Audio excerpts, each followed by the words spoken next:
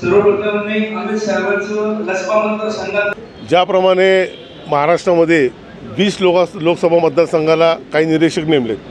त्याचप्रमाणे पुणे शहराला अमितजी ठाकरे साहेब यांची नेमणूक पुणे शहरासाठी केलेली आहे. आणि त्या माध्यमातून आज पुणे शहरामध्ये सहा मतदारसंघाच्या बैठका ते घेत आहेत. आणि ही बैठक घेत असताना अतिशय चांगल्या प्रकारच्या बैठक त्या बैठकीला आमचे शाखाध्यक्ष असणं सगळे पदाधिकारी वर वरच्यापर्यंत पद शहराध्यक्षापर्यंत त्या त्या मतदारसंघातले इतर विंगचे सर्व पदाधिकारी या ठिकाणी उपस्थित. आणि त्यांची सविस्तर बोलून काही आम्हाला आचारसंहिता दिलेली आहेत काही कसं काय का मतदारसंघाची आखणी करायची त्या सुद्धा स्वतः आम्ही साहेब प्रत्येकाशी वन टू वन बोलून आज संध्याकाळपर्यंत सगळ्या मतदारसंघात बोलून ते अहवाल तयार करतील. आणि तो अहवाल नंतर आदरणीय राजसाहेबांना सादर करतील.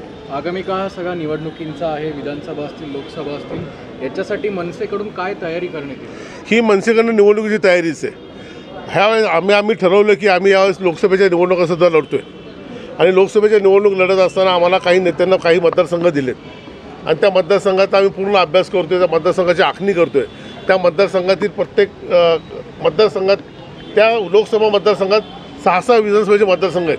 त्याप्रमाणे आम्ही त्याचे चार्ट बनवून त्या त्या कुठले कुठले पदाधिकारी आहेत आमचे कुठले कुठले नाही आहेत कुठल्या कुणाला काय काय जबाबदारी आहे. आणि ह्या सगळ्या पद्धतीने एक वेगळी टीम तयार करून मोठ्या प्रमाणात संघटन करतो आहे आणि त्या संघटनेच्या माध्यमातून लोकसभा असू दे नंतर विधानसभा असू दे जिल्हा परिषद असू दे पंचायत समिती असू दे ग्रामपंचायत असू दे तसंच शहरी भागात महानगरपालिका असू दे नगरपालिका असू दे या सर्व निवडणुका येणाऱ्या काळात महा महाराष्ट्र विकास सेना शंभर टक्के लढणार आहे आणि त्याची तयारी ही सुरू आहे. सगळ्या पक्षांकडून सध्या चाचपणी सुरू आहे त्या त्या उमेदवारांची. तुमच्या पक्षाकडून पुणे शहरासाठी लोकसभेसाठीचा चेहऱ्याची चाचपणी झाली आहे का? नाही ते आदरणीय हे सगळं संघटन झाल्यानंतर प्रत्येकजण त्या त्या लोकसभेचं आव्हान आदरणीय राजसाहेबांकडे ठेवतील. आणि त्याकडे अंतिम निर्णय हे आदरणीय राजसाहेब ठाकरे त्या ठिकाणी घेतील.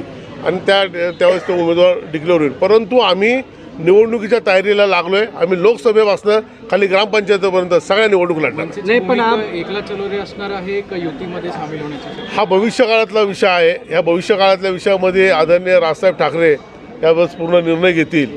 म्हणून संघटना बांधणी आणि संघटनेचं काम करत असताना आम्ही आमची तयारी अतिशय जोमाने आणि चांगल्या प्रकारे करायला सुरुवात केली.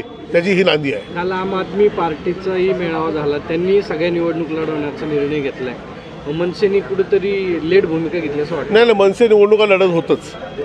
आपण पाहिलं तर आपण पाहिलं तर मागे दोन हजार नऊ सालचं तर आपण निवडणूक लढलो लोकसभेची निवडणूक लढलो. आणि त्या लोकसभेच्या निवडणुकीत रणजित शिरोळे यांना एक लाख दहा हजार मतं मिळाली.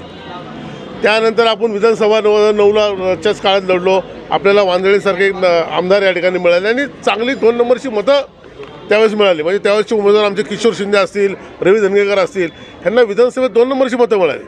त्यानंतर महानगरपालिका झाल्या सेकंड लार्जेस्ट पार्टी एकोणतीस नगरसेवक आम्ही निवडून आलो. आणि विरोधी पक्ष प्रबळ विरोधी पक्ष म्हणून महाराष्ट्र विमान सेनेने या शहरावर काम केलं आहे त्यामुळे या शहरात महाराष्ट्र विमान सेनेचे मतदार आहेत.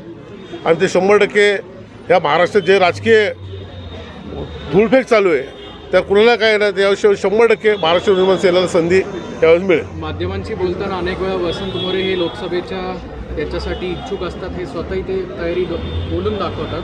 असं काही ठरलंय का की वसंत मोरेंना या स्वयंघोषित नाही म्हणणं कसं असतं आता त्या- त्यात आदरणीय राजसाहेब ठाकरे ठरवतील.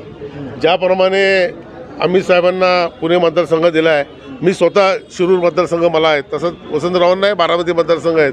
प्रत्येकजण प्रत्येकाची इच्छा ही प्रकट करत असते. का करू नये?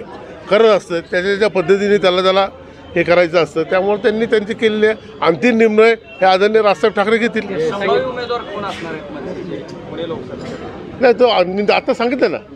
अंतिम निर्णय झालेला अंतिम निर्णय आदरणीय साहेब घेतील. Yes okay thank you